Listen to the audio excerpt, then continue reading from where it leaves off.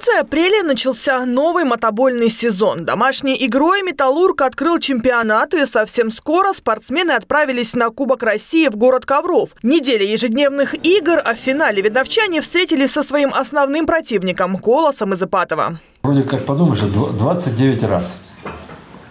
Это солидно и много. А когда анализируешь, допустим, последний кубок в Коврове, за 40 секунд, э, в финале за 40 секунд до конца проигрывали 3-2. Им ставят пенальти Анатолий Касьянов. Доверили ему выбить пенальти. Забивает пенальти 3-3.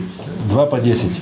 И таких судьбоносных историй у игроков сотни. В этом году «Металлург» отмечает 50 лет. За это время команда неоднократно брала высшие награды в мире мотобола. Костяк сборной России составляют именно игроки Видновского клуба. Вновь завоеванный кубок спортсмены принесли с собой на встречу с главой Ленинского городского округа Алексеем Спасским. Команда легендарная, а, люди легендарные, которые вписали свое имя в историю, в историю фактически мирового спорта, договорились о том, что нужно менять подвижной состав мотоцикла. У нас, к сожалению, не получилось два года назад это сделать, но теперь э, очень постараемся тем, чтобы это случилось в этом году. Вот. Ну а парням хочется пожелать новых побед, потому что мы болеем за них, переживаем.